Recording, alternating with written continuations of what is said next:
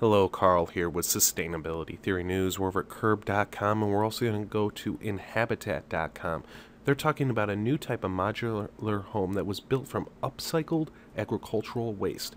Now, you may be familiar with the term recycling. It's when you take a material and you reuse it for a different purpose. But typically, recycling is what some term as downcycling, meaning a plastic bottle is not made into another plastic bottle, it's made into something less valuable or less important.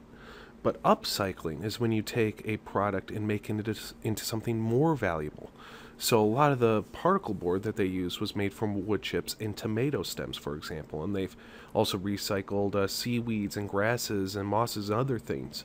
Now, picture, and I'll link to both that page and this page Inhabitat.com. This one has a lot more photos in it, including this one on the front. Now, they did use some reclaimed wood for the exterior walls, but a lot of the material materials for the frame and the interior are from upcycled agricultural waste.